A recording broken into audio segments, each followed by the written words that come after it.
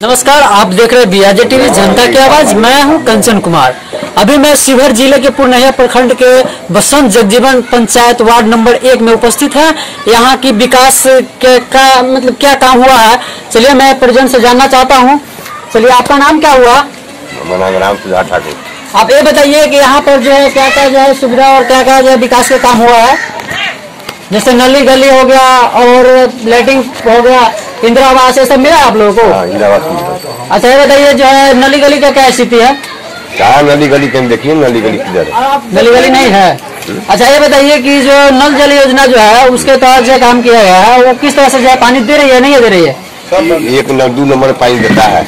इस इसमें नहीं दे रही है? है। एक नंबर वार्ड में नहीं अच्छा रोड का स्थिति क्या है? तो सामने बड़ा मोरे सामने देखो ना महाराज हमरा कभी फ़ोन लगा लीजिए हमरा सामने देखो रोड रोड देख अच्छा तो आप देख सकते हैं यहाँ का स्थिति जो है बहुत खराब है। और आगे मैं एक और से बात करता हूँ। जाएगी। आप ये कि यहाँ का जो है विकास से जो किया गया विकास में मेरे सामने मंजर पूरा बन गया अच्छा। रोड देखिएगा कैसा रोड है। तो वहाँ जैसे रोड बनाया तो मानते रोड बनेगा चाहिए ना। हिसाब से पूरा बंद करके बना दिया। आप देखिए कितना खादा है। जाने में कितना तकलीफ़ होता है हम लोग को एक ही रास्ता है। अच्छा। अच्छा ये बताइए आप लोगों को लाइटिंग वुटिंग बना है? ना एक भी लड़की नहीं बना है किसी का जो लोग अपना पैसा से बनाया उसका पैसा भी आज तक नहीं है। अच्छा। ऐसा तो साहब का नाम क्या हुआ? कुछ नाम राम सागर पासवान। राम सागर पासवान।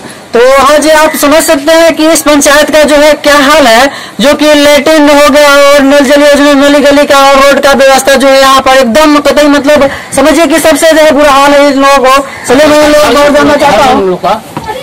आपका क्या नाम हुआ? आपका इसी घर है, में? यही घर है। तो आप भी बताइए कि यहाँ का जो है ये आंगनबाड़ी सेविका ये सब जो ठीक से चलाया जाता है कि नहीं? चल रहा है। जो भी काम अच्छा रोड की स्थिति क्या है? रोड तो नहीं है। रोड नहीं है? अच्छा लाइटिंग वुटिंग बना आप लोग नहीं। बना तो आप समझ सकते हैं कि इस पंचायत का जो है एक नंबर वार्ड का जो है क्या हाल है? आप देख रहे हैं बिहार टीवी